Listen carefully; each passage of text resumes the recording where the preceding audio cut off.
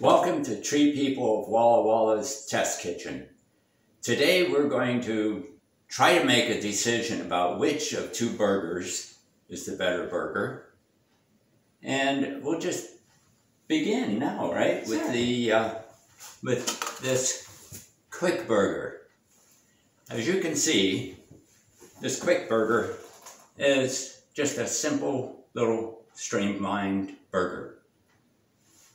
And there's nothing to it. You But- could Looks kind of dry. It Aren't you- Aren't you going to butter the, the bun? uh, no, uh-uh, that's just the way it comes. Okay. I mean, I guess you could send it back to the kitchen and have it buttered, but this is what you get Okay. with a quick burger. All right. So you can add stuff.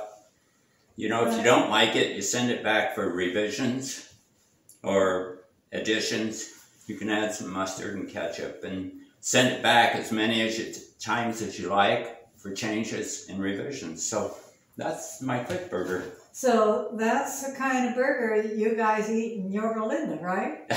that, that, that's where that's from. That's true. that's Okay, what well, we like down there. I don't know about that. Well, I will tell you, I think the better burger is the good burger, and the good burger is not on a little hamburger bun like that, but it's on a nice ciabatta roll, and the hamburger is not just any old meat; it's grass fed, and it's local beef. And it is juicy and delicious. It is so good. You don't need to put mustard or ketchup on if you don't want it. You know, you can just have it like this because the quality is there from the get go. But if you want to dress it up, you can. You could. And you know what? It's nice to customize it make it just perfect for whatever locally you're working with. Mhm. And so that's why I'm going to use Walla Walla sweets because, and we're going to caramelize those babies and put them on this delicious burger. So I vote for the good burger. How about you? Are you going to stick with that quick burger? Well, you know, no matter how much I put on it, it's still fundamentally the same quick burger, so I'm just going to eat it the way it is, I guess. Uh, There you go. That's what are we going to vote for? Are you going to vote for that? No, I'm just going to tell them now, our viewers, that even though we're talking about burgers, we are the tree people of Walla Walla, so we're also talking about trees. And we're using these burgers to discuss the urban forest management plan.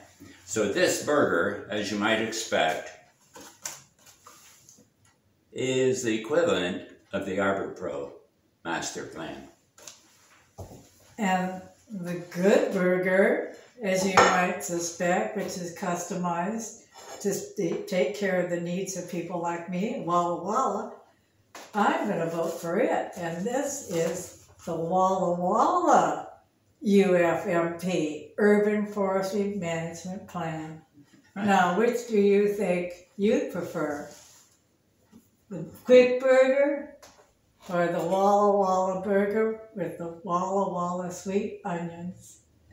Have we helped them make their decision? I think it's foregone.